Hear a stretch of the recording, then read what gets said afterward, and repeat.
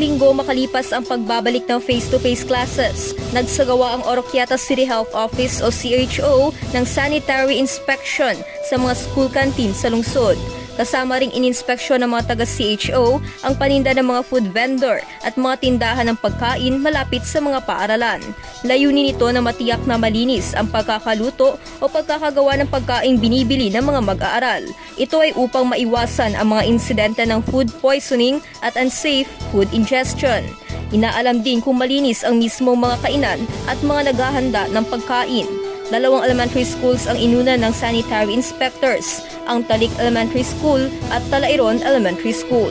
Mula rito sa Misamis Occidental, says Nicole Bazar para sa Agila, Pilipinas. Matatag, matapang, matapat.